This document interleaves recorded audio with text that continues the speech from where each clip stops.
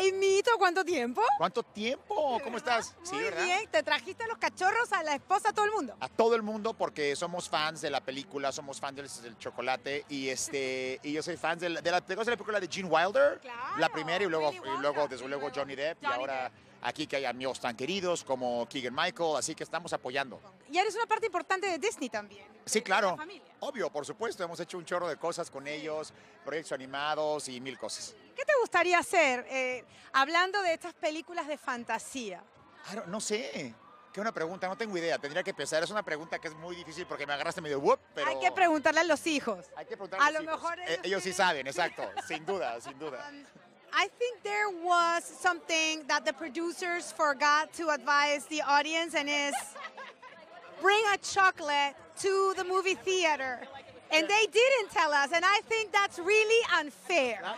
I agree with you. It is the most unfair thing to show people delicious chocolate, to show people eating chocolate in a, a really delicious way and enjoying it and reveling in it, and then going, ha ha, you don't have any. It's terrible. It's It's inhumane. With every ticket, can I just suggest, with every ticket, they should sell a little bit of chocolate. It doesn't mean a lot, Oh my but a little bit of chocolate. Muy buena idea. Muchas gracias. I'm good. You know what? We're going to talk to Warner Brothers right now. Vamos a hablar con los estudios y le vamos a decir esto. How do you say chocolate for all in Spanish? Chocolates para todos. Para todos. Chocolate. Yes, I agree. Paterson had a great idea, but it's part of my petition. Either you give free chocolate for everybody when they go into the theater, or you advise the viewers to bring chocolate because you know what? What you're doing is it's it's nasty. Uh, it's not fair. it's very cruel, and every chocolate in the movie is real. It doesn't just look good; it tastes incredible. So uh, it was. You It's, tasted that chocolate seriously? every Monday morning, I started with chocolate tasting. It's this movie is great for the soul and bad for the waistline. Keegan, we know by fact that you OD'd on chocolate. So are you fully recovered? Yes, I have. I have made it through. I have recovered.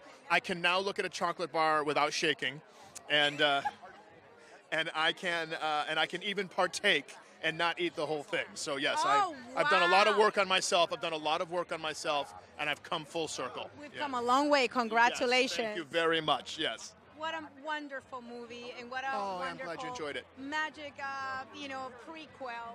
How do you enjoy it? I thought it was fantastic. I, I, I, I really, it was everything I wanted it to be, and, and I think that the actual film exceeded what the script was going to be. Timothée, the man of the hour. Todo el mundo te estaba esperando. Everybody's waiting for you. How is it been to take a beloved character from the movies and make it yours? A lot of pressure, but um, a lot of fulfillment because I've never worked on something that brings people such joy. You know, uh, so that's rare. That's rare, and, uh, and and also for it to be like uh, a legitimate piece of filmmaking, like the director is incredible. So, yeah. Beautiful movie. I have a petition. Uh, everybody's helping me uh, to do this petition to the studios.